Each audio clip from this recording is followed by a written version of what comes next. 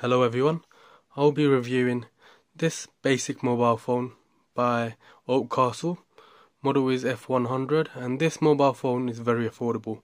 You can purchase one of this for less than £15 UK currency and it has all the basic features that you need. Now the height of this, the length of this is 11 centimeters, width is 5 centimeters. Now to open the case, the back case up, there's a bit here at the uh, bottom here. You may need like long nails or something flat to open it up. So um, if you push it up and then just you, you might you might need some effort because it's not that simple to actually open this up, the back case. After the back case is opened, the battery is here, and it takes two standard SIM plus a micro SD memory card. Now it comes with an adapter here, so if you've got a nano SIM or a micro SIM, you can use the adapter to make it into a standard SIM and then you can attach it to this mobile phone. It also comes with a micro USB charging cable as well and a user manual. Now once this is connected, put the case back in. It should connect straight away without any pressure or effort. And then the power button is here. The, it's the red button here. Just hold it and it will come on. Now it, the weight the weight of this is 70 grams so it's really lightweight easy to use it's compact design as well. It, it has uh, up to seven days of usage time and five hours of talk time. So if you're constantly talking it will give you up to five hours of talk time.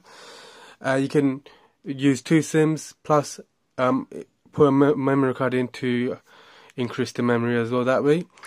And also it it has a, few good features. So let, us go through it. So it's very easy to use. So you can see the buttons are easy to use. Uh, the menus here. So when you go to the menu, you got the messaging, you got the contacts, you got the call logs, you got the settings here. You got the multimedia. So settings, you got the call settings where you can um, check the dual SIM, standby mode, uh, set the SIM name, reply by original um, SIM and then you've got call divert, call waiting, everything that uh, uh, in the call settings would have. Then you got the phone settings here as well, where you got the date and time they can adjust. You got the language language settings. Let's see how many languages he has. So he doesn't really have many languages to choose from. So these are the only languages he has to choose from.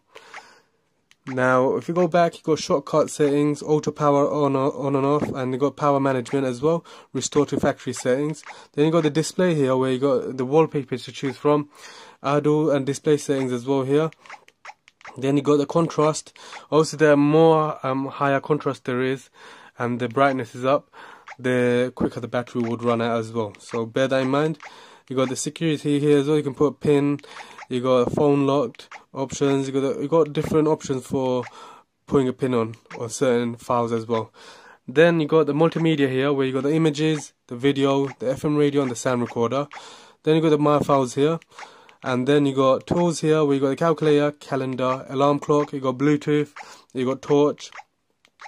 So when you switch on the torch this is how it is. It's not that bright but it still has a torch built in then you got the world clock stopwatch, and then you got games here where you got around four games to choose from: Doodle Dump, um, Doodle Jump, uh, Crossy Road, Bubble Party Mix, and Super Pet Twist as well. Then you got the videos here. You got FM radio. You got profile here, so you can put one on normal, one on silent, one on when you're at meeting, etc. So you can customize it the way you want it. And then you got the audio here, so these are all the features that it has. It has a loudspeaker built in, easy to use, very affordable, highly recommended. So thank you for watching my video. Please do give a like and subscribe.